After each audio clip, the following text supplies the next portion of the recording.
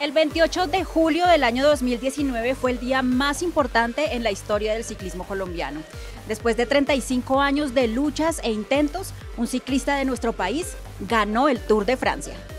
Egan Bernal se paró en el primer lugar del podio en París en un día en el que Colombia por fin celebró el anhelado título después de festejar dos vueltas a España y un Giro de Italia. Geraint Thomas y Steven Kreisbike lo acompañaron en el segundo y tercer lugar del podio. No fue fácil su conquista.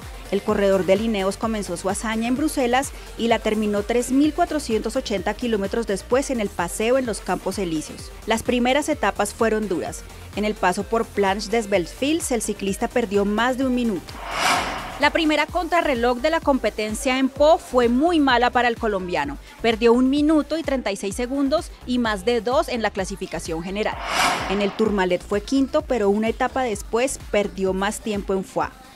Llegó a la etapa 18 en Valoir, ganada por Nairo Quintana, y en la que Bernal pudo sacar tiempo importante a sus rivales, excepto a Juliana Lafilippe, que seguía primero. Entonces se corrió la fracción de la consagración una etapa típica que tuvo que ser cortada por una avalancha, pero en la que el colombiano se convirtió en el líder del tour. La camiseta amarilla fue suya hasta París y con ella la unión de todos los sueños de ciclistas colombianos reunidos en un zipaquireño de 23 años.